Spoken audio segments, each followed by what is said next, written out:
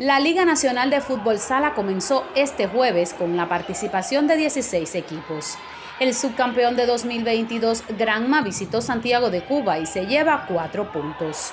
Los granmenses ganaron el primer desafío cuatro goles por dos gracias a su excelente calidad técnica en la cancha. Los indómitos, tras perder el primer desafío, salieron en la segunda fecha con más seguridad en su juego y lograron empatar a dos en el tiempo complementario.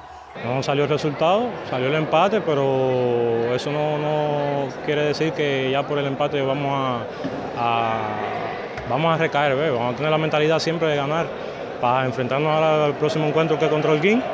Vamos para allá a sacar la victoria, a sacar los seis puntos que nos toca allá. Se entregan en el terreno, son combativos, son muy buenos tácticamente, son los actuales subcampeones y teníamos que estar bien preparados y concentrados para que salieran los resultados. La próxima fecha será el 15 de junio y ambos conjuntos buscarán ganar puntos en pos de la clasificación.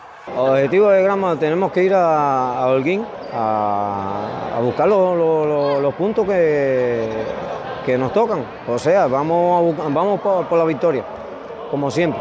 Los objetivos de la, la próxima fecha, ya que vamos a trabajar, vamos a jugar allá en nuestra sala, el objetivo es los seis puntos en los dos partidos. Su campeón Granma con un balance de una victoria y un empate ante Santiago de Cuba en inicio de la Liga Nacional de Futsal.